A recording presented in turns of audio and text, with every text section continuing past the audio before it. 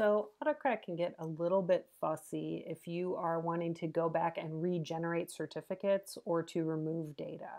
So here's what I recommend. If you've realized that it's not working for you, if you realize you want to make a big change with tags or things like that, and you want to regenerate certificates, you've got your form data here. I'm assuming you're running from a form, not just from a spreadsheet.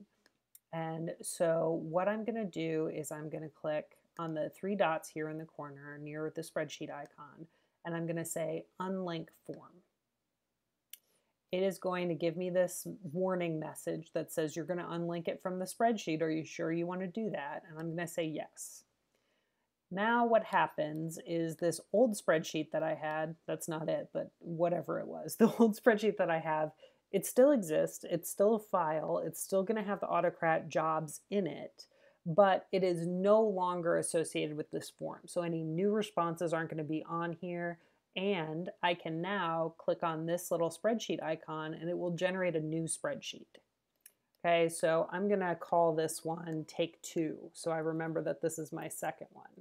Um, and I'll create a new spreadsheet. If you want to relink a spreadsheet that you've unlinked from, you can say select existing spreadsheet and I don't think it'll be too much of a problem. So let's create our spreadsheet. Sorry for all these notifications on my computer. I really should get that under control. Okay, so now I've got a fresh set of data. I don't have my Autocrat things on the end here, and I can just go to add-ons, um, let it load to where it remembers that it sees Autocrat as a thing that I have. There we go.